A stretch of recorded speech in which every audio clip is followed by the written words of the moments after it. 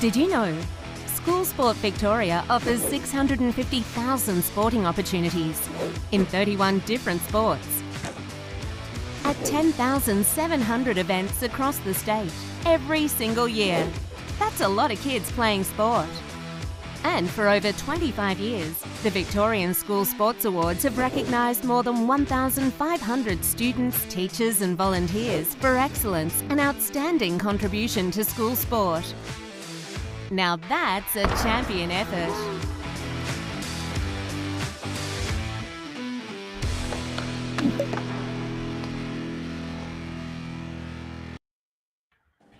All right, we made it to the Ask SSV show, and I'm joined by the very lovely, young, and handsome Brendon Smith. How are you, mate? I'm good, thanks. That's good. Thank I know much you're for modest. You know, that's all right, mate. We love having you on the show, and you're you're uh, tuning in from the other side of the world. You're over at near Italy there, and we've got a jam-packed show today. We've got about six or seven students that want to join, and we've got a whole bunch of questions that are already coming in. So we're going to get to it. But you know, I think everyone's uh, questions are, are rolling in, and they're rolling around the fact that you are a bronze medalist at an Olympic Games. How does it feel to even hear that statement? Yeah, it's pretty surreal to be honest. I think, you know, the the last year that I've had, or the last two years now, really, have been such. It's been such a rocky journey. You know, filled with Yeah. highs and lows. Having to swim in the ocean when I couldn't, I had to spend two months out of the pool. You know, when all the other people that I was racing at the Olympics were able to roll through with uh, minor minor adjustments to their program. So I think uh, for me to come away with the bronze medal has been yeah really incredible. Well, I'd imagine. Look, I, I, want to just spend a little bit of time bragging about you because you've you've been to the Tokyo Olympics. We call them the 2020 Tokyo Olympics, but they were held in 2021. Got a bronze medal. You've also got an Australian record, which for the you know for the men's 400 individual medley at 409.27, which is fantastic. You're also two-time winner of the Victorian Rob Woodhouse Award, which is the you know awarded to the highest ranked FINA FINA ranked medley swimmer. How does it feel to have that many achievements at such a young age? Yeah, you know I think that when I was really a young swimmer, up until the age of 15, 16, I wasn't really um, I wasn't really too good at swimming to be honest with you. So so to have all of this happen in such a short amount of time has been um, it's been a bit of a blur to be honest. It feels like not too long ago I was just um, swimming swimming in the, the local psychic group with my mates, just having a good time, and then all this has happened out of out of just doing the sport that I love. So I'm really really thankful and grateful for everything that's happened. That's good. You, you're such a humble dude. Now you've come through the Team Vic swimming pathway, so you represented Team Vic on a few occasions and wore the wore the uh, Team Vic uniform. You've also spent time overseas and competed overseas in different clubs and different meets. Is there a, a meet or a Team Vic experience that stands out for you in, in terms of your memory? Does do you, does your memory go back to anything that that happened during your Team Vic years? I think that I think my first team, the Team Vic, was 2015, Mhm. The Pacific School Games. I Yeah. remember that was a really awesome experience. That was easily the biggest competition I'd done at the time, um, and I was really, I was really honoured to be a part of that team. And then I think it was 2016. I didn't stay with the team in 2015, but I did in 2016 when it was in Darwin, and that was just a regular uh, national school championships.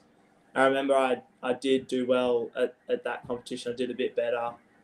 Um, and I remember spending time in that team environment, staying with the team. That was also a really cool thing to experience. And then obviously 2017, again, it was Pacific School Games. And that was probably uh, the best meet that I'd had up until that point where I won. I think I won the overall for male uh, medal medal count. So I was, yeah, really really happy with that meet also. So the three times that I that I got to to do those meets were all really special to me. I mean, it's what's really, you know, amazing is that in 2015 it wasn't that really is not that long ago when we think about it. We're not talking about many many years ago. So you've or you started on this international trajectory quite late, but it wasn't that long ago, and you're already, you know, you already got a medal at Olympic Games, which is, in many's opinion, one of the highest medals you can get in terms of swimming. That's uh, pretty amazing that you've hit it so hard so quickly. What would you attribute your where did it all start for you? How, how did you get into the pool? Where did it all begin?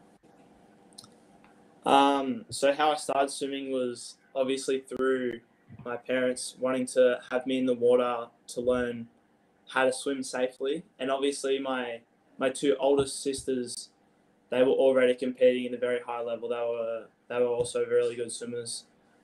Um, so I think having them to look up to, and also my parents who were also swimmers and did life saving as well. So I think that's definitely how I started. Um, and I think when I wanted to take swimming more seriously than what I was at the time was probably 2016 when Nunawading appointed Scott Talbot as the new high performance coach, and he definitely took a lot of interest in in me and developing me as a swimmer and also a person. So I think he he definitely started making me what I am today. Really, um, Yeah. And I, I, I do attribute a lot of a lot of my success to him, and then obviously also Wayne Laws in the past year. He's he's stepped into that high performance role um, because unfortunately Scott had to step away and um, and and move elsewhere. So I also have to thank Wayne Laws a lot for, for what he did to me in the last year to get me to where I am as well. Brilliant stuff. Brilliant stuff. Look, I'm suitably distracted because I'm getting emails, text messages, and the chats coming in as well. Uh, look, Kid, kids are wanting to know from from you so many questions, and we've got some guests that are sitting backstage and they're ready to come on, and we'll bring them on in a second. But this is what Jessica Hale has asked: How many years have you been a swimmer? So, you know, I guess we could take it back to not just competitive swimming, but just how many years have you enjoyed swimming? Um, yeah, first of all, thank you very much, Jessica, for the question. Um, I honestly can't remember when I first got in the water. I know my parents had me in the water before I could walk. Just getting to know to be safe around the water, because obviously that's a big thing, and that's I think that's a huge reason why everyone swims really because you want to be safe around water. It's an awesome thing to be around, and but it can also be quite dangerous if you if you don't know how to swim. Um, so, yeah, they definitely had me in the water before I could even walk. Probably swimming normal sessions. I'm not sure. Maybe the first competition I ever remember doing was seven to ten. So I would have been probably seven years old when I started training. I would imagine. Um, but yeah, that's it's quite a long time ago now. It, it certainly is, but you know, I, I recognise I'm speaking to a um, bronze medalist, but how important is just having fun in sport? I know there's a competitive side, and you are very competitive, and you do really well in comp- competition. But I guess for those listening that may not make an Olympics and may not make an elite sport, make swimming an elite sport, how important is just having fun in in the water or having fun in sport? Um, well, I'm also I'm a very big believer in in in doing things that you really enjoy, um, no matter what that is. You know, if you're if you're being active, anything anything is is better than nothing. So so do do what you do what what makes you comfortable and you know what makes you happy. And I know for swimming, I found that that that really makes me happy, and I know I really enjoy doing it. I still enjoy it to this day. You know, I'm I'm always having a great time with my training partners and getting to travel and, and do all these things. So, you know, just follow your dreams and and uh, make the most of it because you don't know when you know your last time in competitive swimming might be or or whatever you're doing. Um, so really, really cherish every moment you get. Good on you. That's such good advice. Now, we've got um, a couple of, like I said, a couple of people backstage. Just before we get to Arizona's question in a second, um, we've we've had some more come in um, just on the chat in the chat, and I've seriously got an inbox full of emails. I, I anyway, um, tell us what is. This is a great question. I think coming from uh, Ebony Cummings, who is your idol? If you had to pick an idol, doesn't have to be a swimmer, but who's your idol? Um, I think that definitely my idol growing up would it would be obviously Ian Thorpe. Um, yeah. You know, he's he's a great in Australian swimming, and I think that the things that himself and obviously all the other Australian team and what they did in 2000, 2004 definitely fueled the fire in every athlete that is competing and was competing at the 2020 Tokyo Olympics and beyond. So I think that having some role models like like Ian Thorpe and and all those others definitely fuels a, the next generation and helps them to be just as good, if not better, as as their predecessors. Brilliant stuff. We're gonna we're gonna get to more of these questions in a second. Thanks for that question for uh, for everyone who's sending in a question. We're gonna get to them in a second. I've got Arizona who's on the line. I'm gonna bring Arizona on. Arizona, how are you? Oh, you've got your region championship hoodie on. Well done. Thank you. Now, what do you love about what what sport do you love? Let's tell us what sport. Um, I love swimming and netball and dancing. Mostly swimming. Nice. Swimming, netball, and dancing. Have you ever tried netball and dancing, Brendon? No, I haven't. Um, Okay. I find netball is really hard. I used to play basketball when I was a little kid, and when you when you grab the ball, yeah, and you have to stop. It just I can't do the hand-eye coordination. There you go. So Arizona, you've got some questions. If you had, you know, ask your questions. Go ahead. I have two. My first one is How did you keep motivated with your swimming? Sure, that's um, that's a really good question. So, I think, I think to keep me motivated, especially the days when I don't really feel like getting up in the morning and training, I always remember why I do it, you know, because if you lose track of why you do it, um, I think that's you've you've lost track you've lost track of of of why you have to get up in the morning. So I think remembering why you do it and what you're doing it for and who you're doing it for is a really big thing that I always look back on when I'm when I'm struggling for motivation and you know you can't you can't swim forever so you have to make the most of the opportunity and the time that you have that you can do it I think Good answer. I have before you move on, before you move on, Arizona, we've got another question from you. But Brendon, just talk us through just a teeny bit more on because I, I think Arizona's question is valid. How did you stay motivated? Let's add the other part that she didn't add that I think is important to talk about is last year we had COVID and, and the, the pools were locked up. You couldn't get, you know, you can't fill your bath with water and just train. So how did you stay motivated, wondering whether the Olympics was going to go ahead or not? Before we get to Arizona's next question. Yeah, I think that uh, there were two main things. One of them was, you know, if I'm not if I'm not still getting in and putting in the hard work, I know someone else will be, and I knew that uh, if someone else had had made the team ahead of me, that I that I thought that I could have been in there ahead of because I wasn't putting in the work during COVID when when they would have been. I think that wouldn't have sat very well with me. Um, so I, I was definitely, you know, if if I don't put in the hard work, I know someone else will be, and, and I'll miss out on that opportunity. So so I had to I had to grind it out, put in that hard work.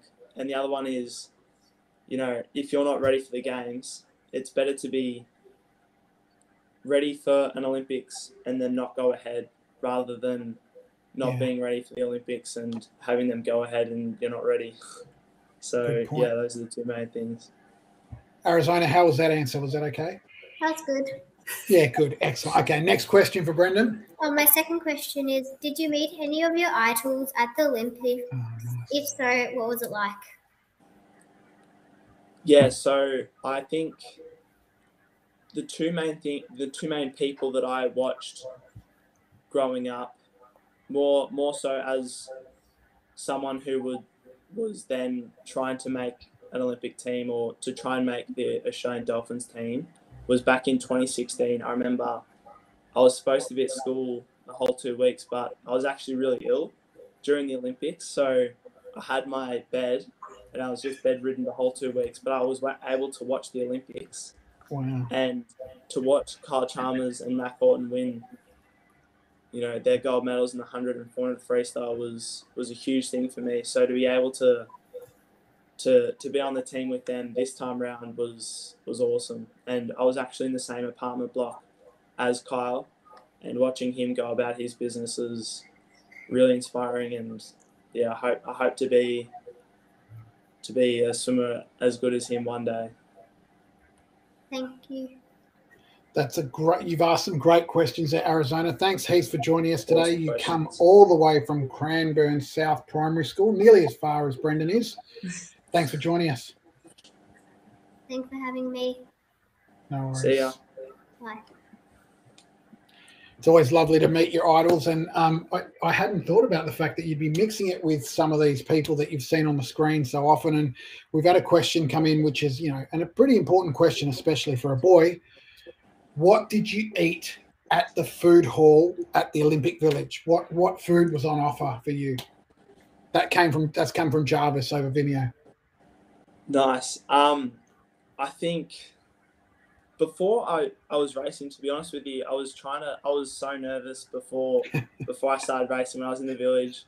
I was just trying to keep my my steps down and not walking too much because if you if you wanted to go and do everything at the village, you would be walking upwards of 15 kilometers a day to be honest with you so i was trying to keep my walking and my the damage that i was putting on my legs to a minimum so when i went to the food hall um, i was probably having big meals because i wasn't going there just for a very little light snack and we were able to do light snacks and even breakfast in the australian building or apartment block so that was that was really good to have that there. But when I got to the food hall, I was mainly having a lot of rice. I tried to stay clear of things that I wouldn't have at home too much because the last thing you want is to have your body react to something that you've had new, you know, three or two days out from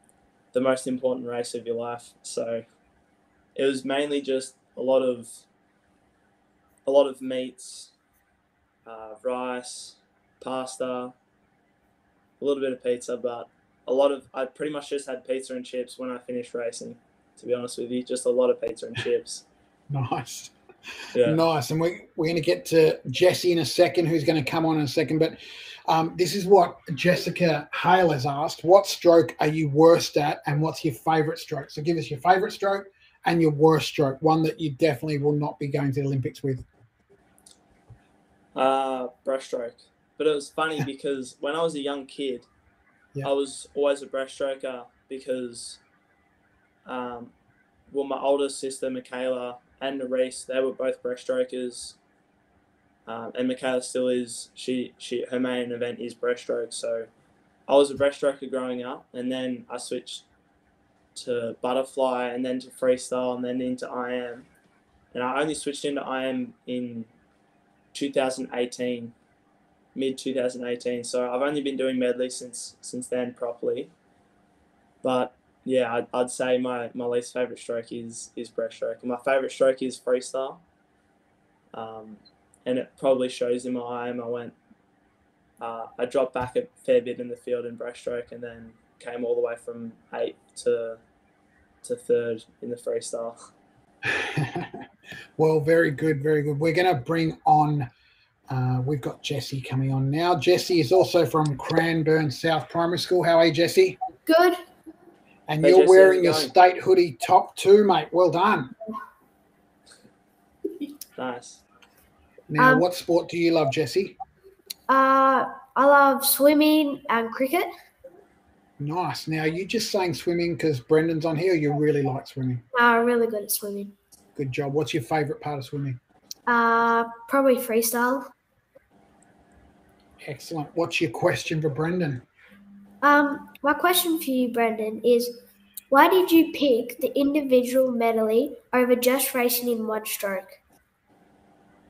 Awesome question.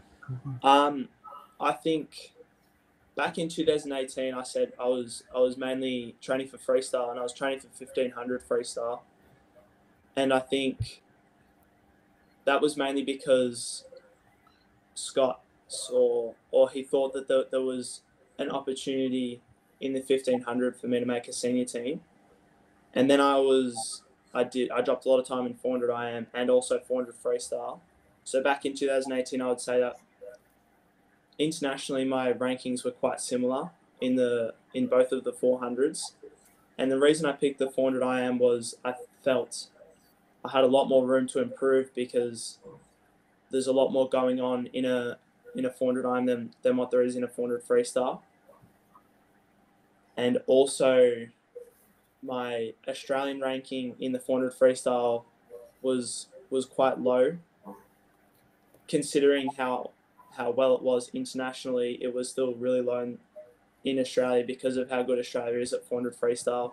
Whereas my medley was ranked quite high for how it is internationally. So I, I decided to really focus on that 400 IM because there was a gap in the Australian team. So I could have not an easier way onto the team, but a way that I felt would be more achievable in a shorter amount of time.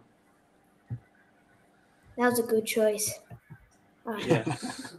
I think It so. certainly was. Now, just before Jesse goes, have you ever run, Brendon? Have you ever run 400 meters?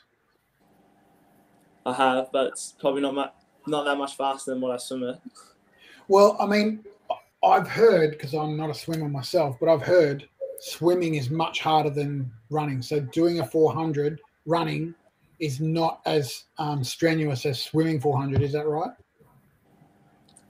I'm not sure. I think well, for me, for me, honestly, it's it hurts. Yeah. But yeah, I don't know. Running, running is not not too good for me. I'm not that good of a runner. Now, just before you go, Jesse, we're going to fast forward 10 years from now. Where are we going to see your name up in lights, mate? Are we going to see you somewhere famous, playing cricket, swimming at the Olympics? Hopefully, swimming in the Olympics. Good job. Well, you keep enjoying sport until then, buddy. Great to have you on the show. Thank you. Thanks, Jesse. Always good to have these great athletes up, uh, little athletes up there. Now we've got some other questions that have come in. Alexandra's asked, "What inspired you to become a swimmer?" I think you kind of touched on this before, but what inspired you to become a swimmer? She asked it on Vimeo. Um, well, it was always something that I really enjoyed doing, and you know, I sort of made the realization that if if I could do this beyond the age of well, sort of eighteen, really, that I could I could maybe make uh, make make something out of it, and you know, get to travel internationally, meet new people, uh, do something that I really enjoy. So I think it was a bit of a bit of an easy decision for me to to sort of make that next step. I don't think there was really any one time that I thought, oh, you know, I want to do this, this, and this. It was just the next step, if that makes sense. Yeah, yeah, that sounds pretty logical. Now, who did you, we've also had this question come in? Who did you room with, and did you take your Olympic gear home with you? Yeah, so I roomed with Se-Bom Lee. He was the other 400 IMer. Mhm. Um, but then we are in an apartment with, there was seven of us in an apartment. So, yeah, you had your own room or room with one other person, and then there was seven of us in one apartment. And with my team gear, I have this shirt, and I have. One other Australian shirt, and that's it. I I only have the one bag with me, and I had to send home two really big bags full of gear back back home. I think Yeah. I I think I sent three. I sent one before I even left for the games. Yeah. Because we got some gear when we were back in Australia, so I've sent back three suitcases, and then now that I'm here at ISL, I already have one full bag, and I think with the team gear we'll be getting here, I'll probably have another full bag. So, yeah, that's five suitcases worth of gear, and I only left with one. That's amazing. Now, I mean, the question on everyone's lips: Have you got your medal with you? Is that is that handy? Have you got it next year? No, No, gone home. I, it yeah, it went home. I went I went home with the certificate, the the uh everything.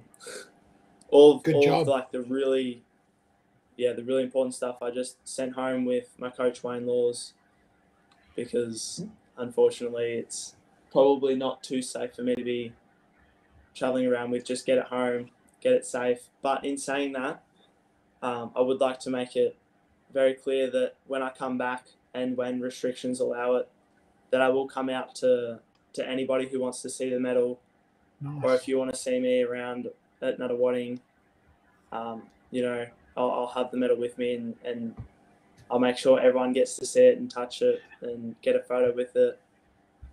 Good Um, on you. because I think you know, sharing sharing what I did and what the team at Nunawading did is really important to to have someone see that at a young age because I know that's what I had and that was a huge part of me wanting to to do what I did. Yeah. Now we're on the topic of the medal. I'm going to bring on Lara early. Lara comes to us from Cranbourne South Primary as well, and she's got a question around the medal as well. Lara, thanks for joining us. Hi. Hello. And what, what's your favourite sport?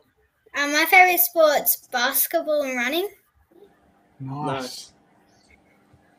Now give us your question for Brendon. How did you feel and react when you qualified for the Olympic swimming team? Yeah, so I was obviously over the moon because I know that was a goal of mine for at least the last four years or five years leading up into the trials. So I was obviously really nervous, super relieved that I was able to make the team. And I didn't realize I'd broken the Australian record at the time until my teammate said that I did. So I was just really happy to have made the team, but to go that fast, I was not expecting to go that quick. Yeah.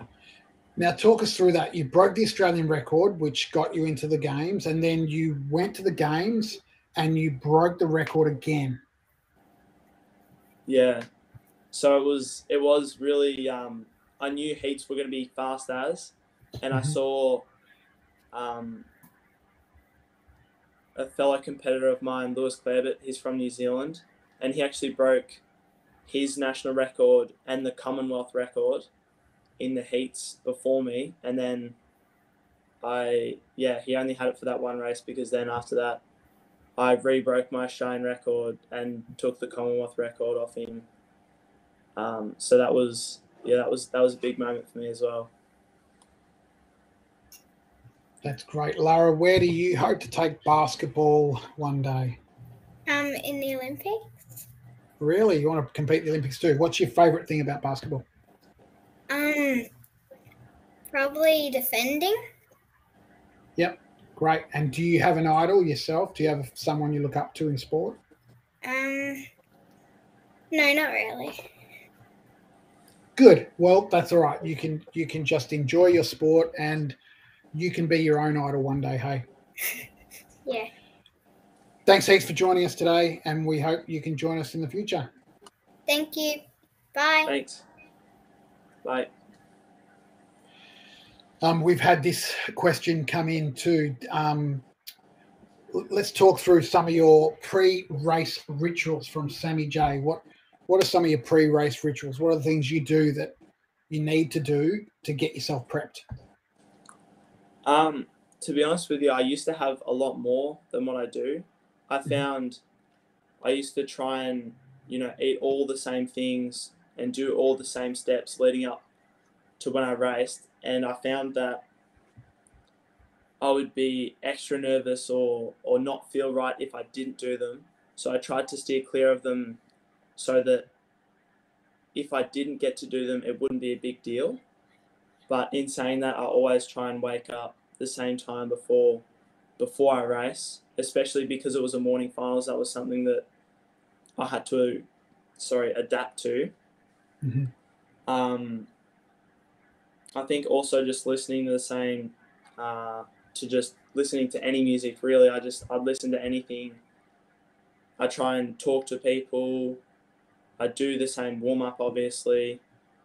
I don't really do anything special behind the blocks that's the same and just slap a little bit, you know, look the pull down, know that you've done the work and yeah, just go into autopilot basically. which is pretty exciting. Now, talk us through the moment when you, you know, you're about to hit the blocks. Obviously, you were nervous. You raced, then you touched, and you turn around and you realize you've got the bronze.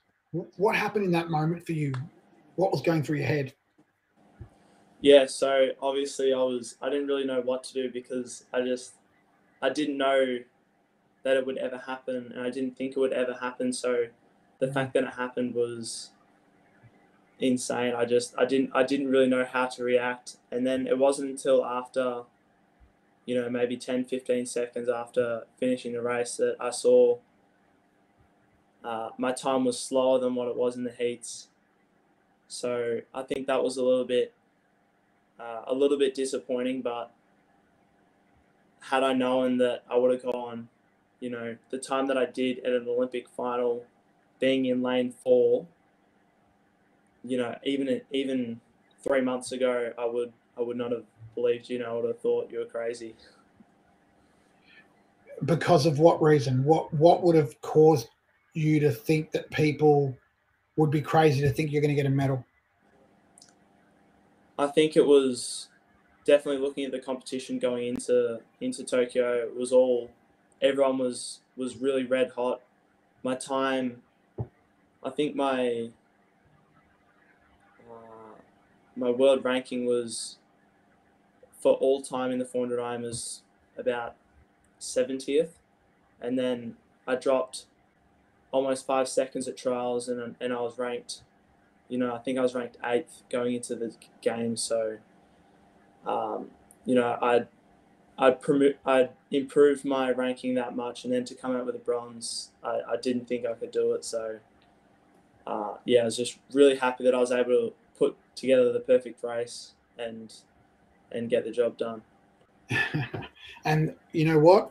I reckon there's more to come, Brendon, because I think you are only at the start of your uh, sporting journey. You're, you're young. Is one of his first Olympics, but definitely not going to be your last Olympics. So, pretty exciting stuff. Uh, Elizabeth Runting has asked this question on Facebook, and I think it's a valid question. Do you do any other sports other than swimming? From did you do any other sports other than swimming from a younger age? It's come from Georgia. Yeah, so I did football, Mhm. basketball. Uh, I still I still do pool and surf life saving. I haven't so much in the past year because of, of COVID and everything, and a lot of their events have been cancelled. But I still do that and still plan to do that. And then obviously swimming. Uh, I think that's the four sports that I did. But I really enjoyed football and basketball because they were just super team oriented, and so is swimming. But it's it's fun to be on the playing field with with all your mates. Yeah, and and look, there is a part of swimming that's a team sport, but realistically, it's an individual sport. And what you're talking about is just having the friendship in a in a team bonding experience, which is pretty exciting. How did school sport shape who you are today? What what part did school sport play? You went to Yarra Valley Grammar, is that right? Yep. Yeah, Great school out there in Warrandyte, Croydon-ish area. North Ringwood, sort of. North yeah. Ringwood, that's the one. um, great school. It's got some great staff out there. How, what part did they play, and how did they champion you to to get where you are? Yeah, I think that you know their their sport curriculum is is really good. I think it really helped everyone, not even not not just myself, but everyone to be super active. You know, doing Saturday sport. I think those are probably. I wouldn't like to tell my teachers this, but those those are my, my favorite memories at school was was being able to do sport with all your with all your schoolmates and and going through the wins and the losses with them is really awesome. Um, but in saying that, even when I was, you know, at school doing day to day classes, you know, everyone at Yarra Valley Grammar were, were second to none with with helping me manage my time in and out of the pool and what I was able to do and, and to get through all that. Even through year twelve I was I was training full time you know, I think I missed four sessions for that whole year in 2018 Wow. when I graduated, and three of them were because I was literally supposed to be in the pool when I was doing my end of year exams. So, Wow. um, yeah, I dropped um, almost no sessions for that whole year and still able to to get through year 12. I really, really attribute that to to the whole team at Yarra Valley Grammar. Which is you know amazing that you can you train so hard. As we know with swimming, it's a very early morning sport. Um, you're probably doing you're probably doing eight sessions a week. So there's a you know a couple of days where you're doing sessions, double sessions, and then you're having a rest day as well. I I guess we've had this question come in from William, but from Pakenham Lakeside Primary School. But this actual question comes in quite often and has come in for you as well.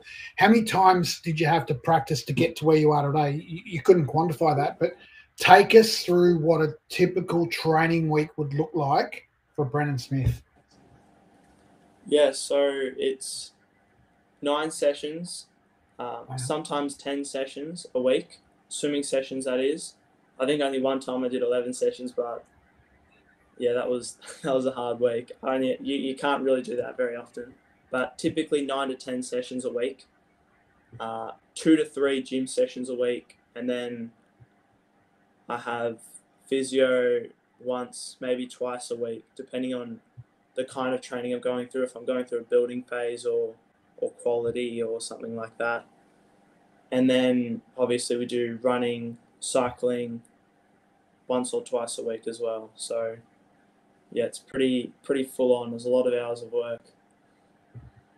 I mean, that sounds like full, that's pretty full on because obviously a, a session is, you know, between 90 minutes and two hours, is it? That that would be the time that you'd spend in the water or in, Yeah, in so training? usually, yeah, usually two hours, two hours fifteen sometimes, and then obviously we do, you know, 20, 20 to thirty minutes of activation before we get in the water, and then stretching when we get out of the water. So, um, it really is, if you're doing double sessions, that that day it's it's pretty much a whole day that you're just swimming. Yeah. Yeah. which uh, you know in a, in a sense we we you know we watch you get the medal and we watch you stand on the podium next to those two americans and smile away but we forget that to get there you've had to put in literally hours and hours of hard work and heaps of energy to just get you to where you are today which is pretty insane Yeah, I think um, you know there's a lot of a lot of work that goes into creating an Olympic medalist, and I think that it's not really seen too much. Obviously, you just see the, the end result, which is really cool to see. But I think that yeah, it's all the all the hard work that goes in the background is definitely an underrated aspect of of an athlete's life. Well, definitely, and and we have had this question come in too from uh, Ding from St James the Apostle. He says, "What are the challenges you've had to face in becoming an Olympian? If if there were some things that you thought, you know, I really have had to come overcome this, what would it be?" I think I don't want to say it was it was smooth sailing, but I think I was on a good trajectory all the way coming up through. And then when COVID hit, I was obviously Yeah. struggling a lot for motivation. So I'd say that was my biggest hurdle to overcome. And obviously the the decision for my coach Scott Talbot also to leave. He left during COVID, so I think it was September. So we'd just come out of uh, out of our first or first lockdown, and I think we we're going into our second lockdown, and then and then he obviously moved to the UK, and I think those two things happening at the same time definitely definitely was the the hardest point of my Olympic preparation for me. Mm. Yeah. Because you build such a bond with your coach, you, you know, they they assume such a heavy role in your life. That must have been Yeah. very hard to and to to not only to remove yourself from that relationship, but then to try and start another one with another coach. That that would have been a very tough time for you. Yeah, it, it was. It. I thought it was going to be harder than what it was. Um, I was very lucky that I'm still in contact with my old coach Scott Talbot, Yeah. and Yeah. I was obviously lucky enough that the assistant coach, who's Wayne Laws, he was there since 2017, doing sessions with us. He just, uh, it was more of a a mentoring role, so they were really both running it um, in parallel up until when Scott left. So it was I, I knew Wayne very well at that stage, and I still keep in contact with Scott very well. So it's um, it was it was a lot more smooth than what I thought it would be. Yeah. Great work. Now this coming from Priscilla along the line of coaches. Who was your first coach, and where did you train? First time ever. But you were a Queensland-born boy, right? Originally, No, I was I was born in New South Wales New South Wales, right? in Wollongong, so Yep. I was there till I was six months old, and then Mhm. I moved to where I'm at in Donvale. So I've been there for pretty much my whole life, growing up there, still there, and I've been at Nunawading my whole life, all the way from learn to swim to to now, and I'm still at Nunawading. So it's so really your cool first coach was somewhere, somewhere, someone at Some- Nunawading someone was. at Nunawading. I think. I don't. I don't. I'm not too sure. I know. I know my grand. My, I know my grand coached me when I was like Nice. six or five, um, because she was she was a, a swim teacher at Nunawading for almost forty years. So. Yeah. So she was there coaching me for a period of time, but yeah, I'm not sure who my first coach was. I'm not. Yeah, I don't know. I'm sure So your many. gran profoundly, profoundly proud of you as well, which is um, fantastic. I guess if someone asked you what sacrifices have you had to make to to get where you are, what would you say to that question? I think it was definitely around around school and and catching up with mates. I would say it was it was really hard to, especially as going through year eleven and year twelve. Um, swimming was taking up so much time, and then every other little little bit of time that I had was taken up by school, and I wasn't I wasn't able to do your typical year eleven, year twelve school life. Basically, it was um, Yeah. really regimented, and yeah, not much not much time to do much else. To be honest. and that would be hard because I mean you appear to be you know one of the boys you you love your mates you obviously have a lot of friends male and female out there so that would have been tough to make those decisions I guess you're talking about not going to parties not drinking all that sort of stuff is that what you mean Yeah, yeah, it was really. Um, it is difficult, and there are times where you just think, oh, you know, maybe like maybe I can just put this on hold for a bit, but I knew what I I knew what I wanted to do, and when I can when I can really focus on one thing that I want to do, there's not much that I let get in my way of me doing that, which is a strength, but also uh, it, you know, it goes both ways. If I if I get too focused in on one thing, it just uh, sometimes I can take it a bit too far, and I do that in training a bit, where I'll I'll go too hard in a session and it'll cost me for the rest of the week or or something like that. So it's it's good that I'm able to focus on on one thing and really make the most of it. But yeah, it goes both ways. which is great now I mean this question question's come in because friendship's really important to you did you make any friends from other countries while you were at the Olympics Uh, not so much while I was at the Olympics, unfortunately, because I wasn't able to to really interact too much with other countries. It was it was definitely um, more so within Australia. But in saying that, I did I did get to talk to most of the people that were in that 400 IM final, and, and I'm close with them now. I was very close with Lewis Clareburt from 2020 when I did ISL, and I know a lot of a lot of my international friends through ISL, which is where I'm at now. Obviously, I'm going to compete at ISL on Saturday, and I think that'll be on TV for anyone who's who's keen on on watching some more swimming. So yeah, that'll be on for the next four or five weeks. So there should be a lot of swimming to, to be had, but yeah, I think I know a lot of people from overseas now through this mainly.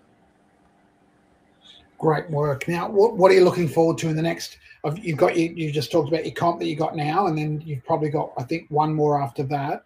What's the next few months hold for you, and then what you know? Fast forward five years, what do you hope to achieve in that time? Yeah, so moving forward for me, I'm not sure when I'll be back home. To be honest with you, it it depends on on what's happening in Victoria. If if I'm able Yeah. to train and and what that will look like. Yeah, Um, obviously, after an Olympics, a lot a lot changes. I know uh, my coach Wayne Laws uh, has decided to retire, and that's obviously a decision that that he was always going to make. He he said when he took on the role a year ago that that it would only be for that one year. Um, so yeah, trying to trying to organise what I'm doing moving forward, and obviously what's happening in Victoria with lockdowns and everything. I think me being international is it's hard obviously because I left I left my home in May. 26th of May was the last last night I spent at home. So I've been on the road, you know, in and out of hotels since then. I would I couldn't and, even tell and you living out of a hotels I've stayed at. suitcase. Well, exactly, and living out of a suitcase and eating food that's you know I'm sure home cooked food is quite amazing. So and, and sleep is really important in recovery. So how how do you do that for so long? Um, well, to be honest with you, I didn't know how long it would be, so it was easy. It was easier not knowing how long it would be because Yeah. I would just think, you know, it's just this next thing, and then I might go home, and then, and then I made the team, so then I go to Tokyo, and then I might come home, and then I, I, I made the commitment to do ISL, and then depending on how far New York Breakers make it will depend on how far or how long I will be away for. But it was funny because I only left because Melbourne was going into lo- another lockdown, so I had literally two hours to pack my bag that I've still got here. Um, everything everything that I've taken from home was packed in two hours, Wow. and yeah, there are a few things that I wish I didn't take, and a few things that I wish I did. To be honest, Yeah. well, I'm, I'd imagine if you if you that's a that's a pretty tough position to be the position to be put into to make a decision on what you're going to you know carry with you in the lead up to your biggest event of the year in a couple of hours. But it'll be nice to uh, eventually get you home. Let's fast forward. I know you've got many years left of swimming, but where do you hope you'll be one day after swimming? What what's life at the end of swimming look like for you? To be honest with you, I'm I'm not too sure on that. I know I'm at university at La Yeah. Trobe studying a bachelor of business, Nice. and where that takes me, or if I choose to pursue that more than just a degree, will time time will tell. I know I definitely like being outside and doing hands-on stuff. So doing an apprenticeship, uh, maybe being a carpenter. I'm I'm not too sure where where my life will go after I finish swimming, but at the moment I'm really just soaking up everything everything swimming and and being around that for the time being.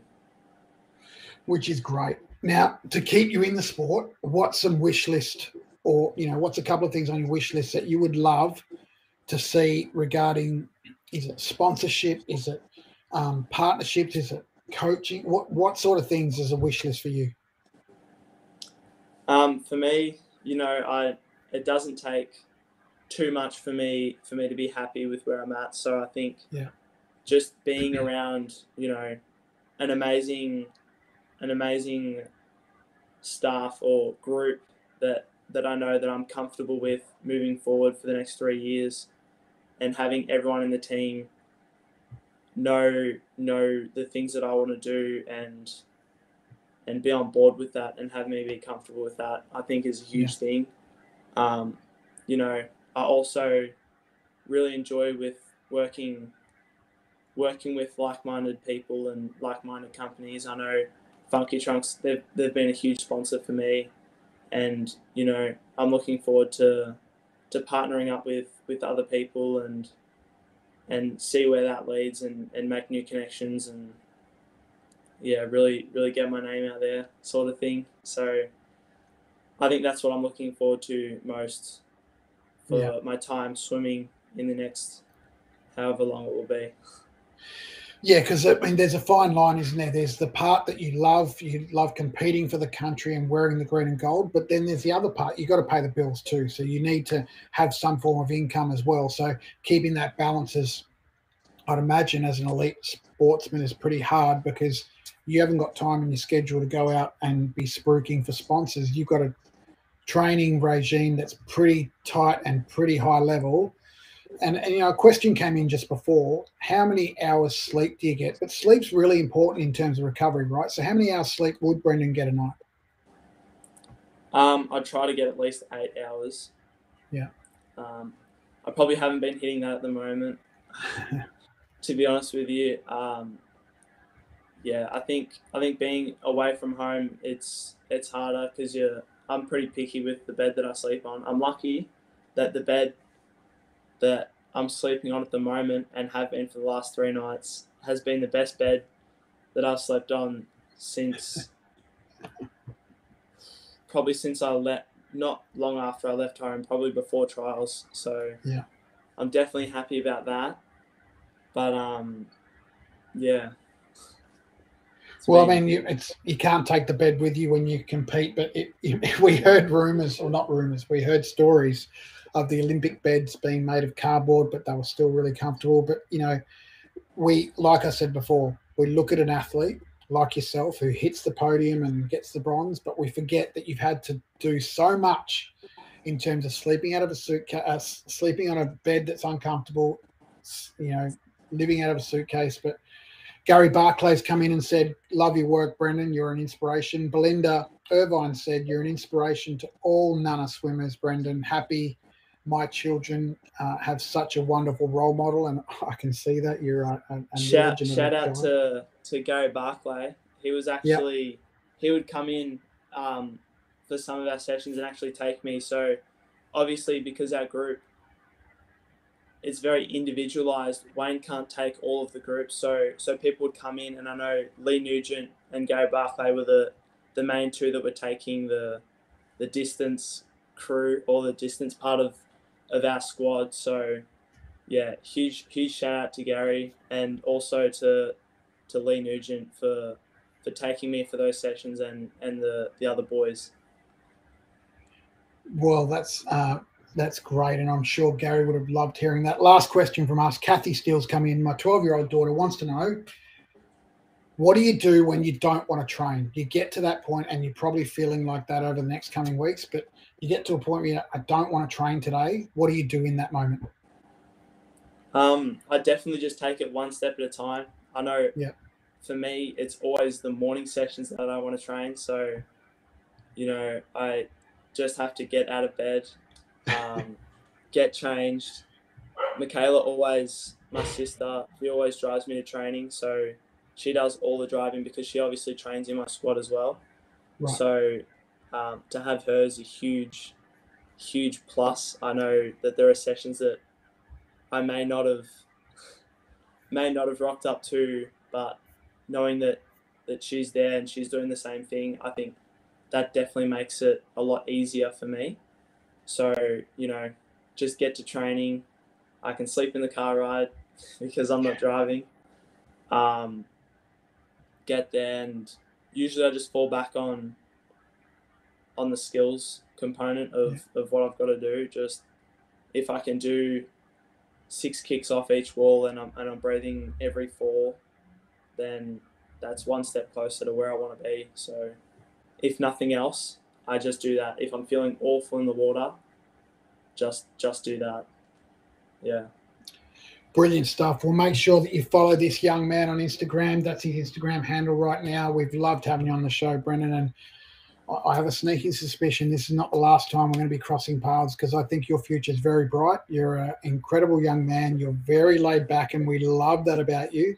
But you've got such a bright future in swimming, mate. We we love love talking to people about you. Thank you so much. I've I've had an awesome time answering anyone's questions and and uh, I'll probably be doing a, a Q&A in the next few weeks. So um, Nice. yeah, that that'll be on my Instagram. So make sure if you if you have any other questions, I'm sure there are other people with with questions that we couldn't get to today. So yeah, I'll, I'll be on there answering questions and obviously hopefully be doing this again um, in in the near future or, or, or whenever. So yeah. Brilliant stuff. Brilliant stuff. We've got, yeah, like I said, my email's got uh, currently 33 more questions in the email alone that I haven't got to. Uh, and then we've got Vimeo, Facebook, and YouTube that we've um, gone on to. So the, the we- we're getting lots of comments, which is nice. So you're a very much loved young man, that's for sure. So thanks heaps for joining us, mate. And we'll continue to champion Brendon Smith and good luck in the ISL. Thank you so much. Pleasure. No worries.